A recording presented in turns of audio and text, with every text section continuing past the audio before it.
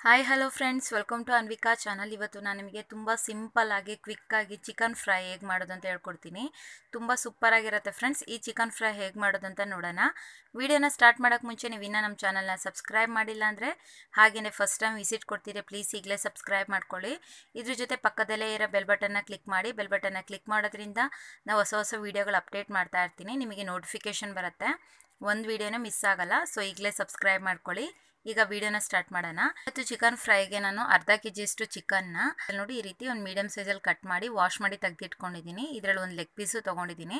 Chicken ಫ್ರೈಯಲ್ಲಿ ಒಂದು leg piece ಇದ್ರೆ ತುಂಬ ಇಷ್ಟಪಡ್ತಾರೆ. ಮೊದಲು ಚಿಕನ್ನ ಮ್ಯಾರಿನೇಟ್ ಮಾಡ್ಕೊಳ್ಳೋಣ. ಅರ್ಧ ಕೆ ಜಿ ಚಿಕನಿಗೆ ಒನ್ ಟೇಬಲ್ ಸ್ಪೂನಷ್ಟು ಖಾರದ ಪುಡಿ, ಕಾಲು ಟೀ ಸ್ಪೂನಷ್ಟು ಅರಿಶಿನ ಪುಡಿ ಒನ್ ಟೀ ಸ್ಪೂನಷ್ಟು ಜೀರಿಗೆ ಪೌಡರು ಒನ್ ಟೀ ಸ್ಪೂನಷ್ಟು ಪೆಪ್ಪರ್ ಪೌಡರು ಒನ್ ಟೀ ಸ್ಪೂನಷ್ಟು ಚಿಕನ್ ಮಸಾಲ ಪೌಡರ್ ಅಥವಾ ಮಟನ್ ಮಸಾಲ ಪೌಡರ್. ನೀವು ಯಾವ್ದಾರ ಹಾಕ್ಕೊಳ್ಬೋದು ಇದ್ರ ಬದಲು ನೀವು ಗರಂ ಮಸಾಲನಾರ ಹಾಕ್ಕೊಳ್ಬೋದು ಒನ್ ಟೀ ಸ್ಪೂನಷ್ಟು ರುಚಿಗೆ ತಕ್ಕಷ್ಟು ಉಪ್ಪು.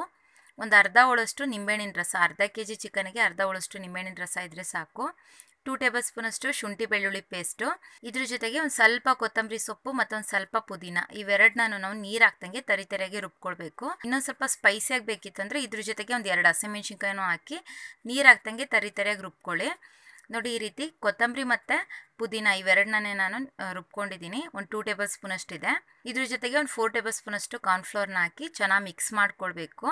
ನೀರು ಹಾಕಕ್ಕೆ ಹೋಗಬೇಡಿ. ಫಸ್ಟು ಚೆನ್ನಾಗಿ ಮಿಕ್ಸ್ ಮಾಡ್ಕೊಳ್ಳಿ. ಬೇಕಿತ್ತು ಅಂದರೆ ಮಾತ್ರ ಒಂದು ಸ್ವಲ್ಪ ನೀರನ್ನ ಹಾಕ್ಕೊಳ್ಳಿ ನೋಡಿ, ನಾನು ನೀರು ಹಾಕ್ದಂಗೆ ಮಿಕ್ಸ್ ಮಾಡ್ಕೊಂಡಿದ್ದೀನಿ. ನೀವು ನೋಡ್ಬೋದು ಚಿಕನಿಗೆ ಮಸಾಲೆ ಎಲ್ಲ ಚೆನ್ನಾಗಿ ಹೊಂದ್ಕೊಂಡಿದೆ. ಈ ರೀತಿ ಚೆನ್ನಾಗಿ ಹೊಂದ್ಕೊಳ್ಬೇಕು. ಈಗ ಉಪ್ಪು, ಖಾರ ಚೆಕ್ ಮಾಡ್ಕೊಳ್ಳಿ. ನಿಮಗೆ ಬೇಕಿತ್ತು ಅಂದರೆ ಇನ್ನೊಂದು ಸ್ವಲ್ಪ ಆ್ಯಡ್ ಮಾಡಿ, ಚೆನ್ನಾಗಿ ಮಿಕ್ಸ್ ಮಾಡಿ. ತಟ್ಟೆ ಮುಚ್ಚಿ ಒಂದು ಅರ್ಧ ಗಂಟೆವರೆಗೂ ಮ್ಯಾರಿನೇಟ್ ಆಗಿಬಿಡಬೇಕು ಬಿಡಬೇಕು. ನೋಡಿ, ಒಂದು ಹಾಫ್ ಆನ್ ಅವರ್ ಆಗಿದೆ. ಚಿಕನ್ ಚೆನ್ನಾಗಿ ಮ್ಯಾರಿನೇಟ್ ಆಗಿದೆ. ನಿಮಗೆ ಟೈಮ್ ಇತ್ತು ಅಂದರೆ ಒನ್ ಅವರ್ ತನಕನೂ ಮ್ಯಾರಿನೇಟ್ ಆಗಿ ಬಿಡ್ಬೋದು. ಇದನ್ನ ಈಗ ಡೀಪ್ ಫ್ರೈ ಮಾಡ್ಕೊಳ್ಳೋಣ. ಎಣ್ಣೆ ಚೆನ್ನಾಗಿ ಕಾದಿದೆ. ಈ ಚಿಕನ್ನ ಹಾಕ್ಬೇಕಾದ್ರೆ ಗ್ಯಾಸ್ನ ಮೀಡಿಯಮ್ ಸಿಮ್ಮಲ್ಲಿಟ್ಟು ಒಂದೊಂದೇ ಪೀಸ್ನ ಹಾಕ್ಕೊಳ್ಳೋಣ ಡೀಪ್ ಫ್ರೈನೇ ಮಾಡ್ಕೊಳ್ಬೇಕು. ಚಿಕನ್ ಪೀಸಸ್ ಎಲ್ಲ ಹಾಕಾಗಿದೆ. ಈಗ ಗ್ಯಾಸ್ನ ಮೀಡಿಯಮ್ ಮತ್ತು ಹೈ ಇವೆರಡರ ಮಧ್ಯದಲ್ಲಿಟ್ಟು ಚೆನ್ನಾಗಿ ಫ್ರೈ ಮಾಡ್ಕೊಳ್ಬೇಕು ಫುಲ್ಲು ಡೀಪ್ ಫ್ರೈ ಮಾಡ್ತಿರೋದ್ರಿಂದ ಸ್ವಲ್ಪ ಮೀಡಿಯಮ್ ಮತ್ತು ಹೈಯಲ್ಲಿ ಇಟ್ಟು ಫ್ರೈ ಮಾಡ್ಕೊಳ್ಳಿ. ಲೋ ಫ್ಲೇಮ್ ಏನು ಬೇಡ. ಎರಡೂ ಕಡೆ ಒಳ್ಳೆ ಗೋಲ್ಡನ್ ಕಲರ್ ಆಗಿ ಕ್ರಿಸ್ಪಿಯಾಗಿ ಆಗೋ ತನಕ ಫ್ರೈ ಮಾಡ್ಕೊಳ್ಬೇಕು ಕೆಲವೊಂದು ಸತಿ ಫ್ರೆಂಡ್ಸ್ ಕಾರ್ನ್ಫ್ಲವರ್ ಏನಾರ ಕಡಿಮೆ ಆಯಿತು ಅಂದರೆ ಮಸಾಲೆ ಚೆನ್ನಾಗಿ ಅಂಟ್ಕೊಳ್ಳಲ್ಲ ಎಣ್ಣೆಲಿ ಫುಲ್ಲು ಮಸಾಲೆ ಬಿಟ್ಕೊಳ್ಳುತ್ತೆ ಸೊ ಆ ಥರ ಏನಾರ ಆಯಿತು ಅಂದರೆ ನೀವು ಇನ್ನೊಂದು ಸ್ವಲ್ಪ ಕಾರ್ನ್ಫ್ಲವರ್ನ ಹಾಕ್ಕೊಳ್ಬೋದು ಈ ಎರಡು ಸೈಡು ಒಳ್ಳೆ ಗೋಲ್ಡನ್ ಕಲರಾಗಿ ಫ್ರೈ ಆಗಿದೆ, ನೀವು ನೋಡ್ಬೋದು. ಚಿಕನ್ ಮೂಳೆ ನೋಡಿ ಒಂದು ಸ್ವಲ್ಪ ಕಲರ್ ಚೇಂಜ್ ಆಗಿರುತ್ತೆ. ಈ ರೀತಿ ಆಯಿತು ಅಂದರೆ ಕಂಪ್ಲೀಟಾಗಿ ಕುಕ್ ಆಗಿದೆ ಅಂತ. ನಾರ್ಮಲ್ ಕಬಾಬ್ ಫ್ರೈ ಹಾಕಿ ಎಷ್ಟು ಟೈಮ್ ತಗೊಳುತ್ತಲ್ಲ, ಅಷ್ಟೇ ಟೈಮ್ ತಗೊಳುತ್ತೆ. ಮತ್ತೆ ಚಿಕನ್ ಪೀಸಸ್ ಸಣ್ಣ ಸಣ್ಣದಾಗೆ ಇರೋದ್ರಿಂದ ಬೇಗನೆ ಫ್ರೈ ಆಗುತ್ತೆ. ಈಗ ಇದು ರೆಡಿ ಇದೆ, ಇದನ್ನ ಪ್ಲೇಟಲ್ಲಿ ತೆಗೆದಿಟ್ಕೊಳ್ಳೋಣ. ಇದೇ ರೀತಿ ಉಳಿದಿರೋ ಪೀಸಸ್ಗಳನ್ನ ಹಾಕಿ ಫ್ರೈ ಮಾಡ್ಕೊಳ್ಳೋಣ. ಎರಡು ಸೈಡ್ ಗೋಲ್ಡನ್ ಕಲರ್ ಆಗಿ ಚೆನ್ನಾಗಿ ಫ್ರೈ ಆಗಬೇಕು. ಗ್ಯಾಸ್ನ ಹೈ ಫ್ಲೇಮಲ್ಲಿ ಇಟ್ಟು ಮಾತ್ರ ಫ್ರೈ ಮಾಡ್ಕೊಳ್ಳೋಕೆ ಹೋಗಬೇಡಿ. ಇದರಿಂದ ಮೇಲೆಲ್ಲ ಬೇಗ ಫ್ರೈ ಆಗುತ್ತೆ, ಬಟ್ ಚಿಕನ್ ಒಳಗಡೆ ಕುಕ್ ಆಗಿರಲ್ಲ. ಸೊ ಮೀಡಿಯಮ್ ಮತ್ತು ಹೈ ಇವೆರಡರ ಮಧ್ಯದಲ್ಲಿಟ್ಟು ಚೆನ್ನಾಗಿ ಫ್ರೈ ಮಾಡ್ಕೊಳ್ಬೇಕು.